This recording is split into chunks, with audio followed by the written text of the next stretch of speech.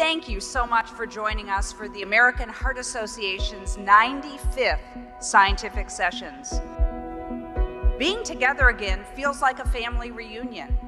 For first time attendees, we hope that the relationships you build here will inspire you to make this an annual event. Solving big problems is what we do at the American Heart Association. It has been that way for nearly 100 years. We are so proud of all that we have accomplished, and we are committed to making our second century even more impactful than our first. I believe economic adversity is a root cause of health inequities and disparities.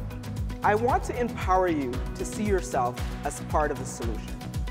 We need not let people die from the effects of economic adversity. You can make a difference by supporting innovative ideas. You can make a difference by seeking non-traditional partnerships.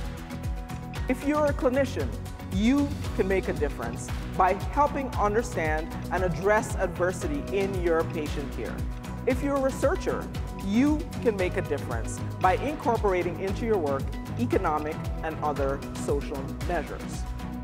You can make a difference by being an advocate at the local, state, national, and international levels.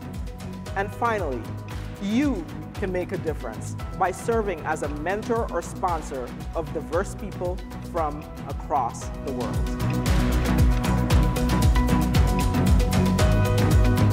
Well, we are an organization rooted in science. That science changes people's lives because of all of you.